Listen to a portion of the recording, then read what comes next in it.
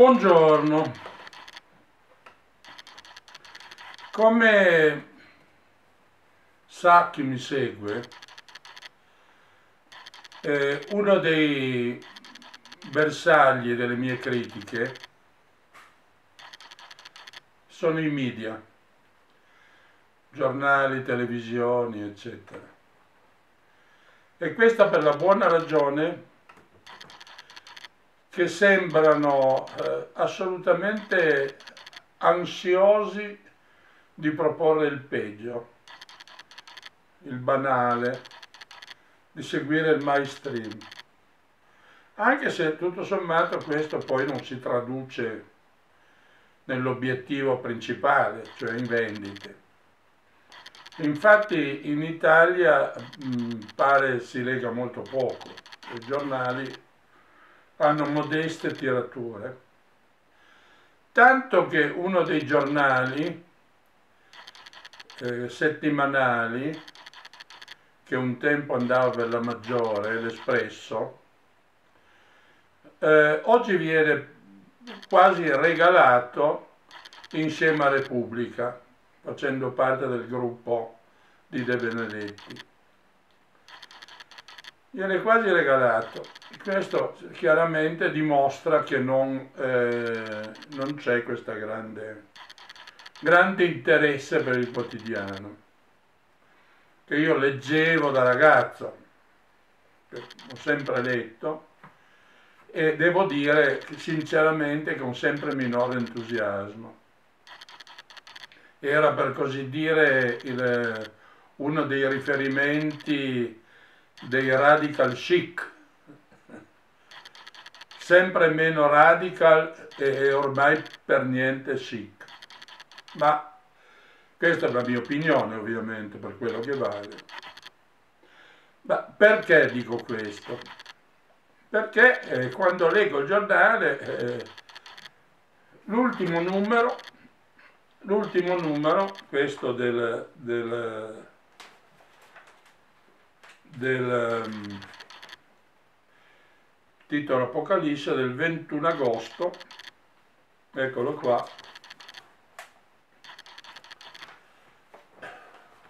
ho letto delle cose interessanti sulla, sull'economia. Per quanto riguarda l'arte invece, c'è una certa... l'arte è affidata ormai quasi esclusivamente a questa, a questa tizia Alessandra Mammi, Alessandra Mammi, la quale per esempio nell'ultimo, in questo numero che ho detto del 21 agosto, in questa rubrica, rubrica Art Box, presenta due mostre, due mostre di due artiste, donne ovviamente. Ora sicuramente è il meglio che si potesse presentare. Io mi fido di, delle decisioni della Mammi. Ho qualche perplessità, effettivamente, ho qualche perplessità. Soprattutto per eh, la, seconda, la seconda presentazione, che si chiama Tête a Tête in cui viene presentata Kissing Smith e Betty Woodburn. Cosa dice la mammi? Lo leggo perché eh, insomma è interessante, almeno si sa di cosa si parla. Due artiste, due storie. Kiki Smith, raffinatissima artista che fonde l'immaginario nord europeo con le sottolinee sottigliezze del fantastico anglosassone. Per parlarci di nascita e rinascita autobiografica e politica, natura e favola. Ora, Kiki Smith è nota, tra l'altro, perché un artista non è che mh, mm, si può contraddire più di tanto, quindi se fa una certa cosa il solco è quello. Quindi Kiki Smith è nota per aver presentato delle, delle sculture assolutamente rozze, rozze nel senso di fatte male, così improvvisate, fatte, eh, di donne a cavalcioni defecanti. Questa sarebbe la raffinatissima artista nordica, secondo la Mammì. Ecco, lascio voi giudicare. Ovviamente quello che dico potete verificarlo, che non, non, non è una mia, in questo caso non è una mia opinione. Chiunque si voglia fare una ricerca su Kiki Smith verificherà questa cosa. E, e secondo Mammì è una raffinatissima artista. La seconda, la seconda artista è la madre della straordinaria e compianta Francesca, dopo aver lavorato in silenzio per anni è ora al centro di una meritata riscoperta, qui insieme per la prima volta. Ora, Betty Woman è la madre di Francesca Woman, una ragazza che purtroppo, tristemente, si è suicidata a 22 anni. Allora andiamo a vedere le opere di queste artiste.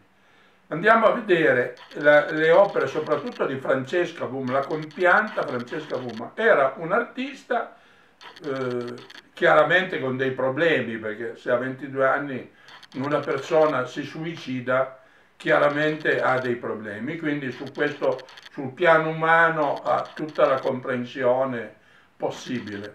Sul piano artistico, cosa faceva? Il corpo, il corpo, l'eterno ritornello, l'eterno eh, ritorno al corpo, esibizione del corpo, presentazione del corpo, eh, eccetera, eccetera. Quindi ecco, queste sono due artiste presentate. La madre poi fa, eh, chiunque può andare eh, e fare la ricerca su Betty eh, Woodman eh, e vedrà eh, quello che fa. Ecco, io non, non, esprimo giudizi in questo caso trattandosi o bene o male di disegnini colorati, eccetera. Alcuni possono piacere e poi per quello che si vede in giro, questo no. Ecco, però, ecco, queste sono, sono le cose che un giornale un giornale ex importante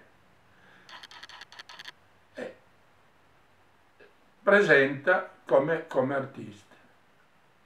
Allora, la mia domanda è questa. È possibile, è accettabile, orientare l'arte eh, sempre più pesantemente dando risalto al genere? È possibile questo? È giusto? È produttivo per l'arte? Ecco, questa è una domanda che io pongo e lascio a, a chi mi ascolta la risposta. Poi c'è un'altra, un'altra questione che vorrei, che vorrei trattare, cioè sempre la Mammì, visto che è lei che si occupa di, di mostre, artista decidi tu. Quindi lancia questa, questa cosa, basta con critici e studiosi, oggi musei e biennali si affidano sempre più spesso a scultori e videomaker. Jan Konski e Vettoli.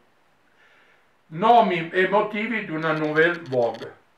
Di una nouvelle vague. Ecco, questi sono... Quanto c'è di vero in questo? Poco poco o nulla, perché si tratta di vedere quali sono le mostre che vengono presentate da questi signori.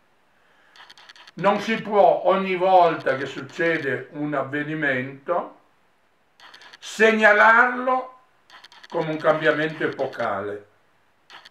A mio avviso non è corretto. Ciò premesso, il problema è che ognuno dovrebbe fare il proprio mestiere. Perché delle due l'una, o l'artista che organizza biennali, mostre, fiere e tutto quanto, eh, presenta soltanto gli artisti che sono sulla sua stessa linea, oppure in qualche modo entra in contraddizione con se stesso. e in ogni caso fa un altro mestiere, fa un'altra cosa. Quale senso ha? Qual è la ragione di tutto questo? Che l'artista si presti è perfettamente comprensibile. Si presta perché in questo modo tiene visibilità, che è tutto quello che oggi interessa. Cioè l'arte è, è, è mercato e mondanità e null'altro e quindi è chiaro che anche sotto questa, in quest'ottica eh, si capisce le banalità presentate dalla Mammì sull'Espresso. Eh, io personalmente devo dire che anch'io sono stato presentato, sono state presentate mie mostre sull'Espresso negli anni 70-80. Allora eh, l'Espresso, cioè adesso ovviamente questa cosa mi attirerà le critiche perché è facile dire quando presentava le tue mostre valeva, adesso che le presenta altre no. Ecco, questa è una facile argomentazione che però sarebbe sbagliata. Non presentava solo le mie mostre. La qualità dei critici, eh, Barilli per esempio, non può essere certo messo sullo stesso piano della Mammì.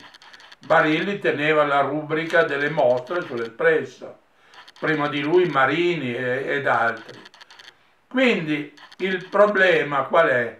Il problema è che la decadenza generale di questa nostra società in declino si manifesta anche nell'arte ed è agevolata, come io non mi stanco di ripetere, dagli stessi giornali, i quali vanno a cercare le cose eh, così, senza, che non hanno precise e radicate motivazioni. Che Smith può anche essere famosa, per carità, eh, non, nessuno nega, cioè la, la, fama è una cosa, la qualità delle opere è un'altra cosa. Quindi ehm, presentare come opere donne defecanti con sculture assolutamente rozze, ecco, eh, non mi sembra che denoti una grande raffinatezza e qualità artistica, come invece sostiene la Mammì. Allora perché lo fa?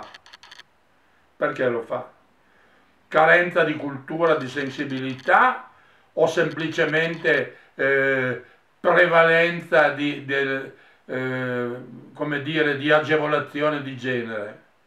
Io non lo so e quindi non, non, esprimo, non esprimo pareri, lascio a voi eventualmente considerare e riflettere su questo.